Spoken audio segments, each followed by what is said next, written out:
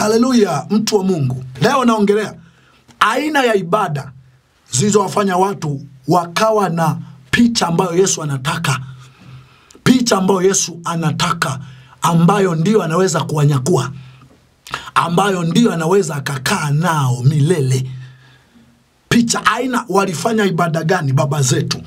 Baba zetu walifanya ibada za sura gani za namna gani? Tahadhari. Ninapoongea haya wengi mtakimbilia kwenye sasa si utakuwa masikini ukifanya ibada za mpendwa inategemea unaabudu nini. Ukiabudu kwa mtume kwa nabii kwa mtu utakuwa maskini kwa sababu muda mchache income ndogo yani pesa inayoingia ndogo na yeye mwenyewe ana shida nayo hiyo hiyo. Anabuni michango ya kila namna ili ikiwezekana na yeye asomeshe watoto ajenge nyumba nunue gari kali lakini kama tu utafanya ibada halisi kwa yesu halisi mhubiri akasimama na yesu halisi akiwa na, na moyo tu wa yesu halisi natoka shangaa kipato kidogo unachokipata kinafanya mambo makubwa. Lakini kwa kadri ibada zako zinavyokuwa sahihi kwa namna inavyotakiwa unatumia nguvu kidogo sana matokeo makubwa sana kwenye maisha. Nikusomee maandiko kadhaa. Mwanzilishi wa ibada mwanzilishi ambaye alianzisha ibada zinazoweza kumfanya mtu kwa sababu huko nyuma kulikuwa na kina Elia, kina Musa, kina Danieli, kina Elisha. Hao Mungu hakuona haya kuwanyakua. Musa amezikwa na Bwana, walienda kutafuta mahali palipochimbwa mlimani, hawakuona. Lugha nyingine, Musa alinyakuliwa na Mungu pasipo mtu kuona, lakini Elia gari la moto lilikuja kumchukua Elisha akiwa anatazama. Enoko alihamishwa, watu wa, watu wakaona tu Enoko amehamishwa, hayupo. Yesu ali- alihamishwa mbele za watu wote, baadaye anakuja kuweka wazi, ikiwa mtataka kuhamishwa kwa sura hii, kuna aina hizi za ibada, ama mtatakiwa kujua nyie ndo mnaweza mkaja tukakaa na mimi kwa njia yote ambayo nitawaondoa duniani. Aina hii ya maisha ndio waliishi wale nilioguswa nao hata nikakaa nao. Kwa sababu Yesu tunayeweza kukaa naye mbinguni ni Yesu ambaye imepasa tukae naye sana duniani tukimsikiliza, tukae naye sana, sio hii ambayo tunaiona sasa, na nakuhakikishia hatutakwenda. Kwa staili za ibada tunazofanya, hatutakwenda. Hata kama mi nitaenda, sawa, tutaenda, utaenda, utaenda, lakini mi nachojua hautakwenda. Ni maneno tu ya mdomoni. Mdomo unaweza ukafanya chochote, mdomo unaweza ukaje- uka- ukanunua ndege, lakini utaishia kununua mdomoni, ndege yenyewe hutakuwa nayo. Marko nane. Marko nane mstari wa kwanza. Katika siku zile kwa vile ulivyokuwa mkuu tena ule mkutano nao wamekosa kitu cha kula akawaita wanafunzi wake akawaambia nawahurumia mkutano kwa sababu yapata siku tatu wamekaa nami wala hawana kitu cha kula. Nami nikiwaaga waende zao nyumbani kwao hali wamefunga watazimia njiani na baadhi yao wametoka mbali.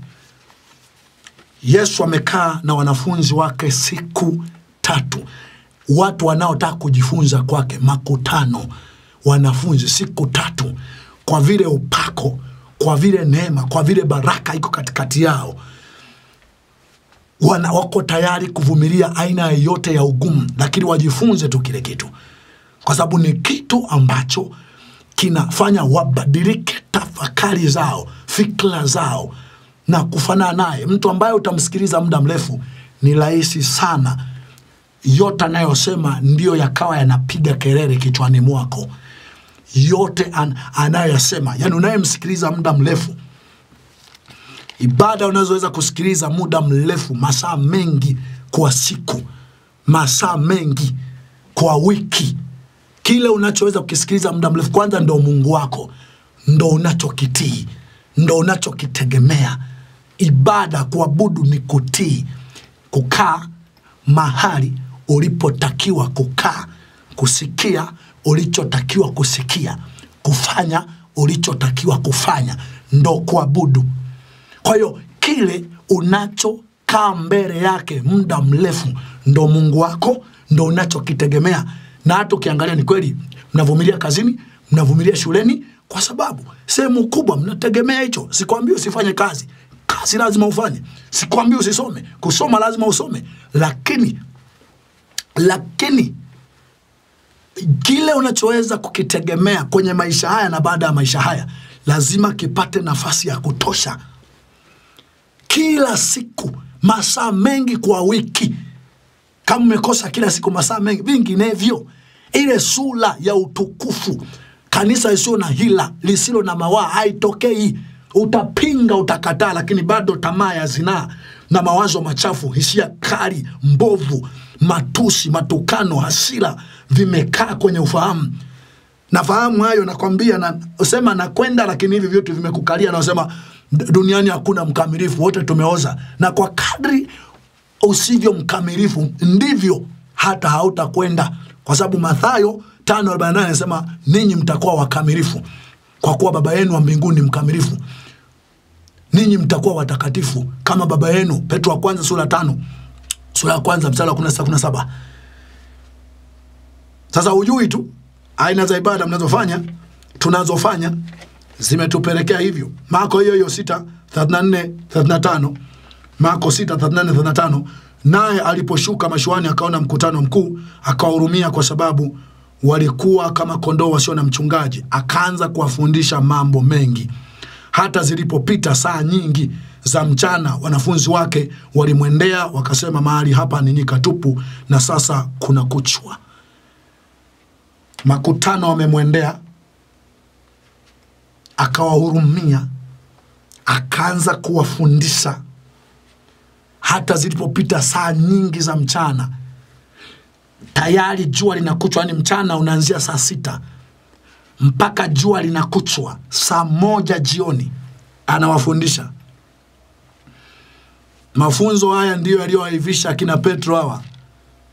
Wakawa na uwezo na neema waliokuwa nayo vinginevyo unakuwa utakuwa na miujiza ya kishetani. Hata sasa hivi kufumba na kufumbua tu. Kaenda mlimani anashuka tu ana upako wa ajabu. Upako halisi wa kimungu auji tu kwa sababu umefunga siku nyingi. Tume wetu na wahubiri wetu nafunga tu siku nyingi. Na wengine hata hawafungi wanakuwa tu wamesafiri mali wamekaa kwenye hoteli wanakula msosi. Na, ku, na, ku, na kuhitaji nguvu nguvu mbayo kwa kujua kwa kutokujua nguvu ya kuzimu waingia na kwenda kufanya miujiza. Nafikiri miujiza tu na, na uwezo wa mungu natembea na mtu kwa sababu ya mifungo. Tu mimi ndo mmoja wa wahubiri wanaohubiri kuomba sana. Na katika mafundisho yangu yote lazima nichanganye na kuomba sana na nikwambie uombe sana. Lakini panahitaji mafundisho sana. Sana. Ndio anaweza kubadili mtu. Mafundisho sana. Yohana matendo ya mitume sura ya kwanza mstari na nne. Nataka nikusomee maandiko kadha wa kadha mifano kadha wa kadha iliyofanya watu hawa mpingu. Mpingu zikawa wazi kwenye maisha haya. Mpingu hazikuona haya kufunika mili yao kujitokeza na kuwatangaza hawa wanapendezwa nao kuwapigania kwa namna ya wazi kubadili sura zao vivuli vyao vikawa vinaponya kuponya kweli viwete viwete kweli wafu wafu kweli. Sio misukule misukule isiyoeleweka hii sio vilema mtu anakwenda amepona anatembea. Vingi sana vinaweza vikahusika ili, ili, ili mungu ili mungu asione haya kujifunua. Tumapepo tu tunaanguka kwa nguvu ya kuzimu mnabadilisha majina mtume nabii mwinjilisi fufue mtu kweli wewe, itakuwaje we Ta, utaagiza magari yote yote watu watembee chini wetu utembelee magari yote upange juu. Aina za ibada matendo ya mitume moja mstari wa kumi na nne. Matendo ya mitume moja mstari wa kumi na nne. Biblia inasema hawa wote walikuwa wakidumu kwa moyo mmoja katika kusali pamoja na wanawake na mariamu mama yake yesu na ndugu zake. Walikuwa wakidumu wakidumu kudumu daima. Daima na yesu mama yake mama yake mariamu mama yake yesu. Daima wanadumu taka ongea tutakuwa maskini. Sasa tukisari kila siku tutakuwa maskini. Hujaelewa tu. Kwanza kabisa ni kwa sababu nimeongea kwenye vipindi vingi na hapo mwanzo nimeongea. Kwa sababu kiasi kidogo, income ndogo, kiasi kidogo unachokipata. Mtume kaangalia hapo hapo, mhubiri kaangalia, jimbo limeangalia hapo hapo, mama mchungaji, mama askofu, kitenge chake, watoto wake kusoma vimeangalia hapo hapo. Ndio maana kidogo unachokipata akikariki. Lakini nataka niwahakishie, sio tu tunapata kidogo kinakarika, tukisali kwa muda mrefu na kwa nguvu, kwa muda mwingi tunapoteza muda mwingi na nguvu nyingi kumtafuta Mungu. Swala la kutafuta mali na, ma na, na, na, na vitu vya maisha haya ni rahisi sana, kazi kidogo, matokeo makubwa. Na wewe ndo unaweza ukaenda ukamwona hata Mungu. Naangaika duniani hapa, unapigika, hujui itakavyokuwa, unazunguka zunguka tu, katabiri wewe, kukaombe wewe, wakuambie waku, mwaka wa kushangilia, wa kung'ara, wa kuvuka. Hakuna kuvuka wala nini ibada zinaweza zikakuvusha bila hata mtu kutabiria na kuambia unavuka vuka sio nini. Kuvuka yeye amevuka yeye, suti tu hiyo na gari. Kwani kwani utukufu wa Mungu ni suti na gari? Kanga wa kienyeji tu umeshindwa wewe, akavuke mwingine. Visuti suti tu vya mchina na, na, na vigari vya Japani vyenye vina matege used. Ndo uh, vuka mvuke wachache, na ulianza una kitu mepiga piga hela humu kanisani tu waibia ibia wajinga wajinga kamwa kama ndani vuka sasa, nawavusha nawavu, unawavusha wapi wewe? Ibada zinawavusha bila hata wewe kuwavusha. Ibada kabisa ziwachukulie muda mrefu, wadumu. Matendo hiyo hiyo, nisome, sikia sikia, Matendo hiyo sura ya tatu. Basi Petro na Yohana walikuwa wakikwea pamoja kwenda hekaluni saa ya kusali saa tisa. Saa ya kusali saa tisa. Maana akawa jamaa kila saa tisa. Walienda kusali. We, saa ya kusali ni ngapi? Sio lazima usali saa tisa, maana kulingana na jiografia ya mazingira uliopo, lazima kila siku wepo machoni pa Mungu. Tukisema kusali, tukisema ibada, shughuli zote zinazomfunua Mungu zifanyike. Kama ni kuomba yaombwe maombi mpaka uone up, up, up, upako uwepo neema, yani uone wepeshi.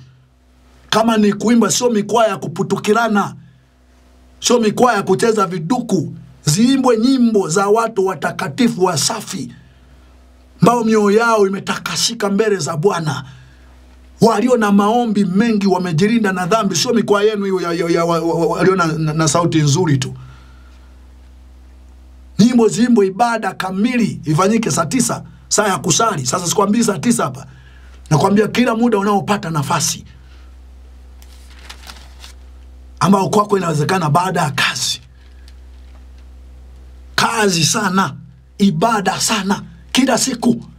Aina hiyo ndio unaweza ukakuta he, mawazo machafu yameondoka mawazo machafu. Kuna watu mmeminywa hapa mdomoni kweli hapa, wapole watakatifu, lakini ndani ya hasira, tamaa imekaa. Na kuhakikishia unayenisikia na yule uliyemwona mpole, mtumie klipu hii, mtumie, mwambie ndugu, mpole sana kwa nje, lakini ndani na juu unasagika, ndani umeoza.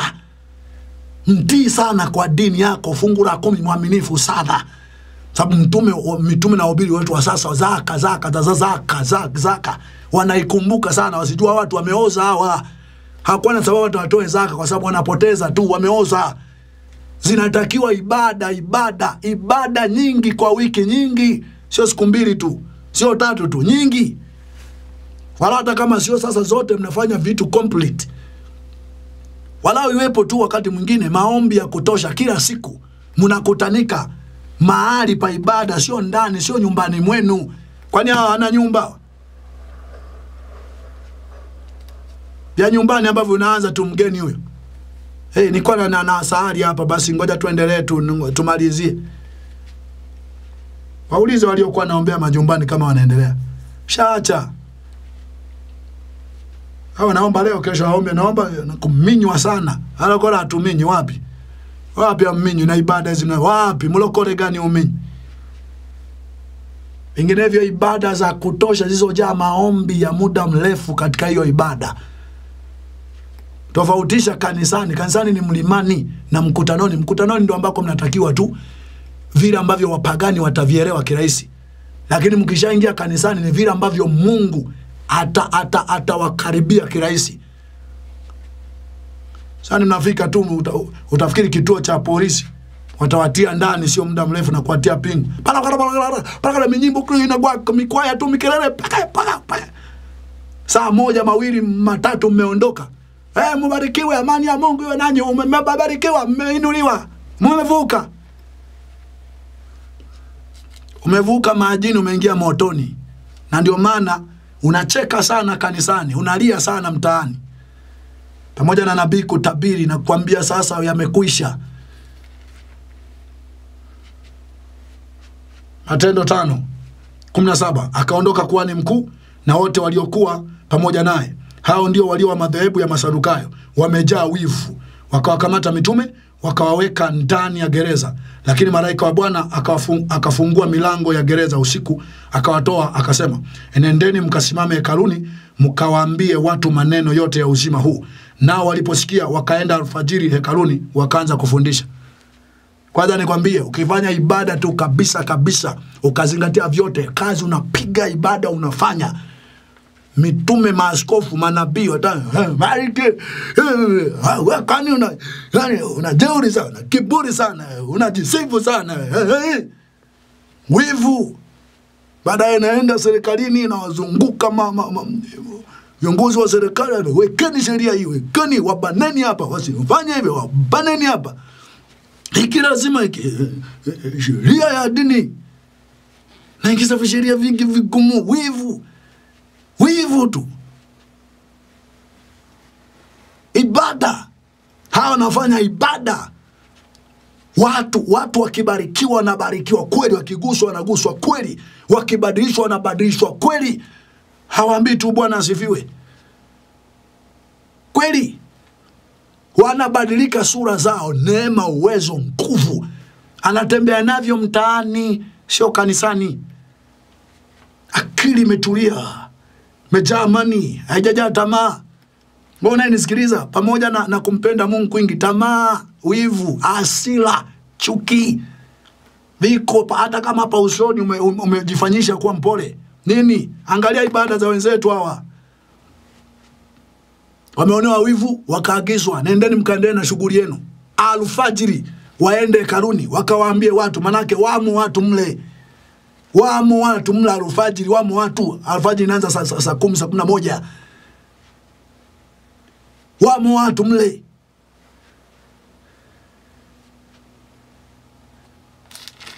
Tutamwona Paulo na Petro na Bartholomayo, tunakwenda waliko mitume. Mtaenda. Wengi tu, akina Bartholomayo duniani humo, kina Petro, akina Paulo, wengi tu, wengi tu, na wengine wamekufa, wengi tu. Mtaenda walikwenda. Nje na ibada hizi tutakuwa masikini. Si ukishinda kanisani sana, nani masikini? Ukishinda kwa mtume, shinda kwa nabii, shinda mnahubiriana tu kutoa toa toa, kubarikiwa panda mbegu gusa. Nimesikia sasa hivi unatoa fungu la kumi kabla hujapata hela, ili, ili zije zile zilizotolea fungu la kumi. Jamaa, chuma chako mapema, usabe, yaache yenyewe, hiyo inajikuna kwa sababu ya ujinga. Matendo tano arobaini na mbili na kila siku ndani ya hekalu na nyumbani mwao hawakuacha kufundisha na kuhubiri habari njema za Yesu kwamba ni Kristo. Kila siku hawa ndo kanisa la mwanzo hili. Baada ya Yesu ndo kanisa melitengeneza, nalo ni kanisa linaloweka msingi, kanisa la Pentekosti, Assemblies, kikoskazi. Jumapili hadi Jumapili. Au Jumatano, Ijumaa, Jumapili, na kuja umechoka, umepauka, tukawa nachelewa saa saba saizi saa kumi na mbili saizi unakimbilia wapi? Kucheza drafti, kucheza bao, kuangalia mpira, kwenda kuchati kwenye simu. Nachelewa. Kanisa mtakatifu, naenda mbinguni, ukawasalimiage. Aina hiyo ya mbingu kawasalimiage, lakini nakuhakikishia. Matendo nimalizie ishirini saba. Matendo ishirini saba. Ishirini saba. Hata siku ya kwanza ya juma tulipokuwa tumekutana ili kuumega mkate, Paulo akawahutubu akiazimu kusafiri siku ya pili yake, naye akafuliza maneno yake hata usiku wa manane. Sisi siku wa manane hapo amesinzia, vinginevyo kuwe na mikwaya na mingonjera, kwaya na maigizo na wachekeshaji, ndo walau saa sita, saa saba, saa nane, hiyo itafika. Maombi, mafundisho oh. Na hapa alikuwepo mmoja, kwa neema tu ya Mungu ule upako ukamwinua.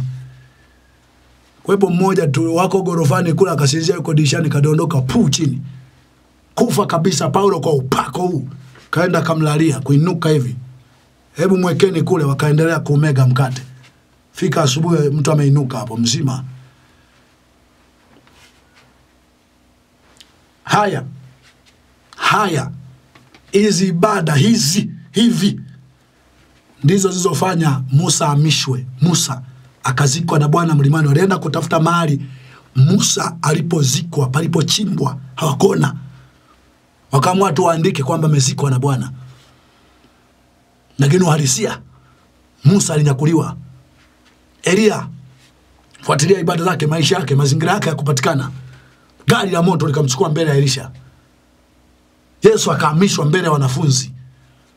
Aina hizi za ibada zilibadili fikra, zilibadili hisia, mipango, malengo, mpaka miili ilibadilika. Nguo moja tu kila mtu alikuwa anaitamani. Hata baba zetu walioondoka, waliokufa, kipindi kijacho, maisha walioishi, marupurupu waliopata, hali walizokuwa nazo walipokuwa wakielekea badiliko la kufanana na Kristo na hatimaye kunyakuliwa naye ama kwenda kuishi naye. Kufa ovyo, kufa kama upanga, pumekonda, ni sauti tunasikika, ameenda mbinguni. Ajali inatokea, sagwa sagwa ubongo, kaenda mbinguni. Kufu na alisha mpaka mashuka hospitalini, wanapata shida kuyafua na mengine wanatupa, mtakatifu naondoka. Paulo anasema kwa maisha yangu na kwa mauti yangu Kristo utaadhimishwa navyoalisha vile ndo Kristo anaadhimishwa vile. Mtumishi anaondo eh, ameondoka ameenda kwa Mungu. Magonjwa magonjwa ya kila aina, akitaka kuingia anaingia na kutoka yanavyotaka. Mtakatifu yuko kwenye majaribu kama Ayubu. Shai kusoma Ayubu wewe, sifa alizokuwa nazo mpaka ajaribiwe. Somi leo, siku nyingine takapokuwa nikimalizia topiki hii maisha waliokuwa nayo kwa sababu ya ibada hizi, hali walizokuwa nazo, mwonekano wao, uwezo wa kuwavuta watu bila maneno, kwa sababu ya hali zao, sio minguo ya gharama, sio magari ya gharama, sio kusomesha watoto international. Na nimebarikiwa, nimeinuliwa mimi, cha ushamba huo. Uko mwili wa utukufu wa Kristo unafunika mwili wako fahari yako hiyo katika mavazi, katika minguo, katika magari, katika majumba. Neema Kristo iwe nawe, amen.